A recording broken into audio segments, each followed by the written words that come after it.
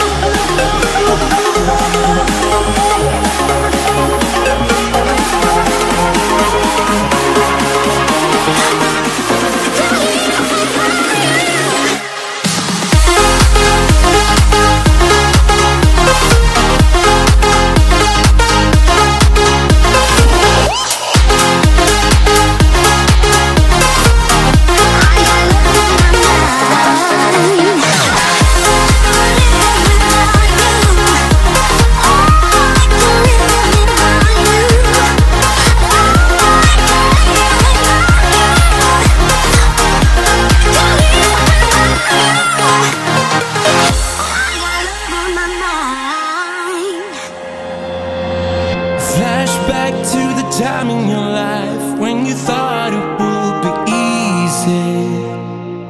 But it's hard when you take on the world alone.